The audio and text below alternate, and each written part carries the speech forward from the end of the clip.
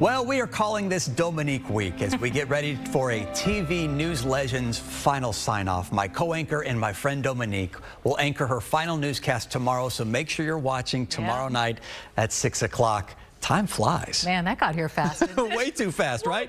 Yes. Almost 30 years like that. Like that. Uh, but we're not waiting for tomorrow to celebrate Dominique. Let's bring in our friend Andy Sirota. And Andy, you know that Dominique, she loves our community. Chris, a thousand percent. Right. Dominique, one of the many reasons why you are so adored is your love of community, of the community, for the community. It's the very essence of who you are. For members of one particular group, your lasting impact is something they will always cherish, a group that is very close to your heart.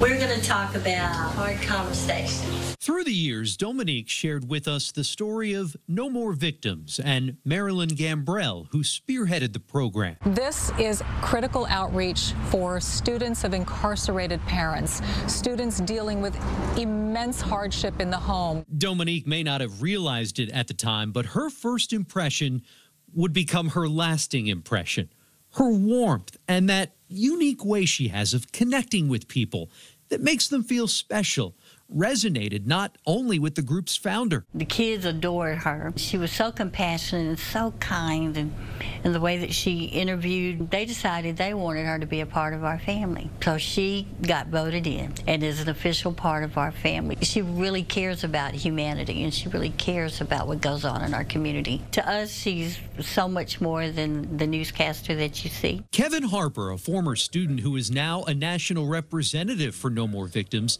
says he will never forget the first time he listened to Dominique speak at one of their events. He had to go on stage right after her. Watching someone like that, it was an inspiration. It gauged how I wanted to present myself. I remember just having that conversation with her and her mom. Um, kind of inspired me to continue speaking for the org, continue being a representative. Pierre Davison, the group's former president, shadowed Dominique for a day at KPRC2. It was just wonderful, and she really showed that she was caring. It's clear her ability to engage struck a chord with these young men. They felt heard.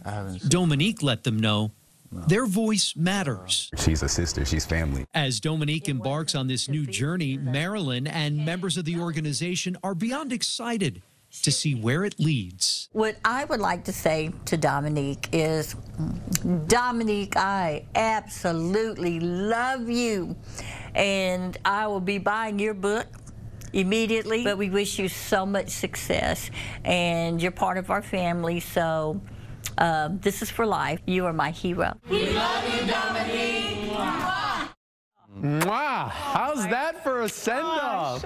I know. And when Marilyn said you got voted in as part of the family, I mean, she meant it. There was a swearing-in process. Yes. They all stood up and took the oath with you? Yeah, it's a big deal. It is not something taken lightly, and it's truly an honor for me to be a part of that organ. I'm so proud of them. I'm so mm-hmm. proud of those children. They're amazing people. And they're just as proud as you. Oh, you guys. Good work, Dee. Thank you. Good Thank work. you.